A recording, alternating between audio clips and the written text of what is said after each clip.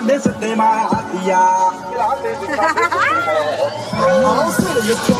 फलाई करके